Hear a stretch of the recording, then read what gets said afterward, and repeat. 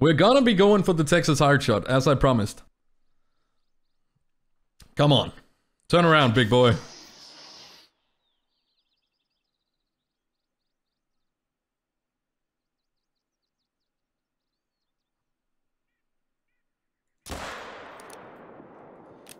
We didn't get the heart shot. We didn't get the heart shot! God damn it! I wanted to get a heart shot on a great one, or at least attempt it.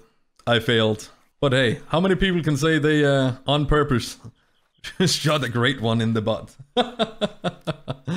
Alright, let's check it out. Grade 1 406.50. Get that guy in the lodge. And would you look at that? Uh, we wouldn't have had the penetration. Oh, damn!